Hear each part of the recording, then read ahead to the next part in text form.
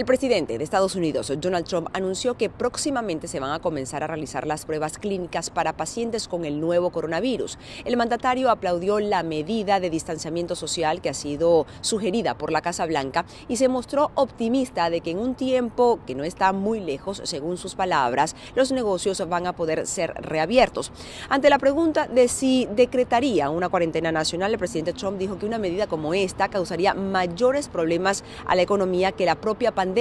puesto que en el país hay 160 millones de empleos y apagarlos de repente traería un impacto tremendo en la economía nacional. Mientras el Senado de Estados Unidos no ha logrado aprobar el paquete de ayuda financiera por casi 2 millones de dólares que serían destinados para aliviar el impacto en las pequeñas y medianas empresas, así como también en los trabajadores estadounidenses, que muchos de ellos han tenido que dejar sus trabajos o incluso han tenido que introducir licencias por enfermedad. Ya según la Universidad Johns Hopkins, aquí en Estados Unidos se cuentan cerca de 44 mil casos del nuevo coronavirus y más de 500 personas han fallecido por la enfermedad. Un total de 16 estados de la Unión han implementado medidas más estrictas para obligar a sus ciudadanos a quedarse en su casa y evitar el contacto social. En otros temas, los presidentes de México y de Estados Unidos evalúan las medidas a tomar en la frontera, esto para reducir el riesgo de propagación del COVID-19. La propuesta del mandatario mexicano es acelerar la entrada en vigor de la acuerdo comercial conocido como TEMEC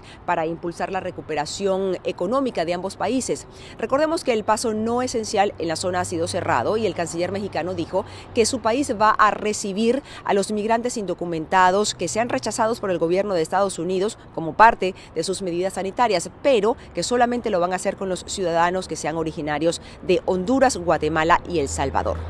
Desde Washington con la agenda informativa del día, soy Natalí Salas Guaitero de La Voz de América.